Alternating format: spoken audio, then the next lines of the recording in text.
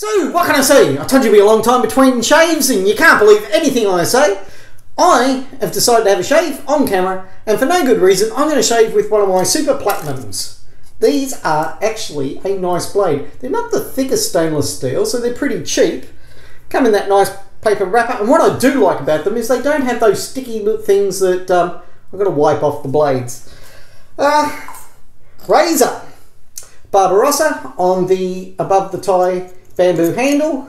Pop in the blade. And let's get on with today's shave of the day. shave. Real men shave their faces. Real men shave their faces. Today's soap, I'm going to give a little love to the Razor Rock. There we go. To the Razor Rock Chicago, which basically smells like sweet pollution. It's actually not too bad. It is quite sweet. And it does have that odd smell of a musty city. You know, just after it rains, after God tries to clean up the mess. Picks up where the city council left off. Doesn't take long, and I have a enough on my Maggard black synthetic to be getting on with today's shave. Again, afternoon shave, have a look at that. One day's growth. Yesterday's shave was not super close. I blame a blade that was well past its good use by date, but I don't know. When I got heaps of multiple blades, really, I don't need to leave it as long as I do. I should toss them more regularly. I still think Christopher Bailey's idea of keeping a dice on the ledge was a brilliant idea, but I've just never got round to buying the dice. Good ideas die on the vine with me. So, enough froth, broth, and leather. Let's get on to wetting my face. Remember, water is the cheapest ingredient in any good shave. And finish up the leather with a face lather by working it in to my mug. What an interesting world we live in. If I told you how bad yesterday's weather was, let me tell you how good today's is. I woke up to a stiff breeze. That was a breeze, people. And uh, the sun was out. So at 8 o'clock in the morning, I realised I could grab the mower and uh, whip round. Only mowed last week, but it already needed doing again. It loved the rain. Just It was doubling the grass length overnight. Now this is a fantastic razor. The Barbarossa on the um, above the tie bamboo. The alternative, much cheaper than the above the tie one, is they've got a similar handle at Italian Barber. Highly recommend this design for grip. And as always, I love this Barbarossa razor. These Barbarossas give my Wolfman a run. They were that well made and machined.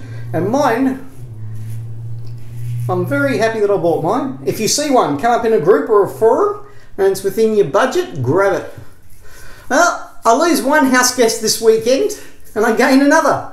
In a few days, my brother will be up and we'll do packing and moving of another load down to um, the Sunshine Coast. So, little by little, it's fun living with no drawers, half my kitchen cutlery and stuff gone. Oh, it reminds me of my early days batching. And then when I get down the Sunshine Coast, I've got to unpack and set up all over again. Like I said, this is Chicago, it has got the scent of a city, so there's probably some tobacco in there and um, that sort of earthy smell um, combined with very sweet florals. And like I said, I love this Barbarossa. The other thing about this Barbarossa, I don't show you this, I know I'm halfway through a shave, I'll get back to it, is above the tie, ooh, let's go that way. This is an above the tie um, CNC'd uh, razor stand, and uh, it fits this handle obviously perfect.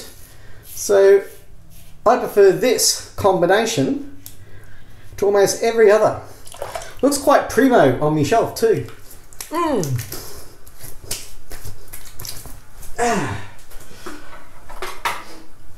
Towel and damp off today's shave. As always, having dried my face, the next step is the witch hazel. You know, it's taken me two years to empty one of these. You don't need much.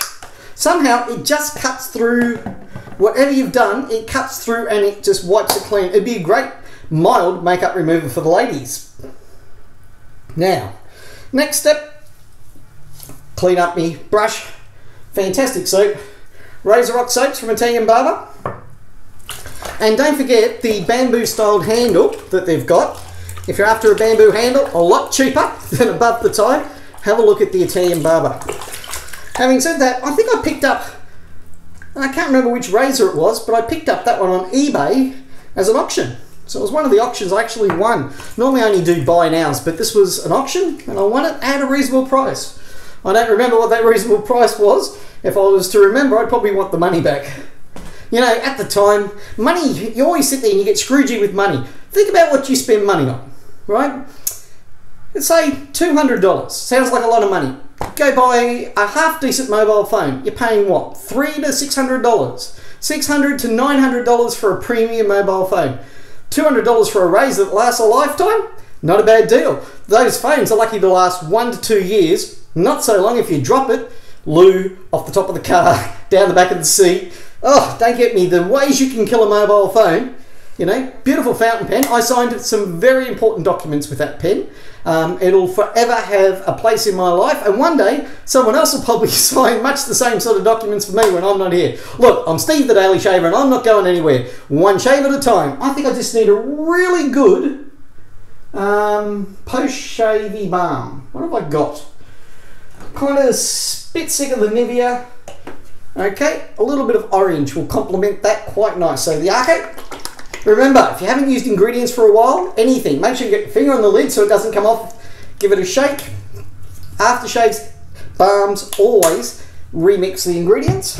And, mmm.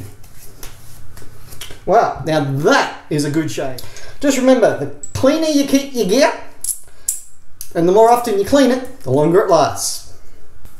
As always, extremely happy with my Barbarossa cap and I quite like the wavy handle, bamboo. That will go back. Remembering I will take out the blade because I don't trust them in razors. For example, this is the one it sits next to. Now that's the Claymore handle in, I think that's an Icon base and the Icon cap.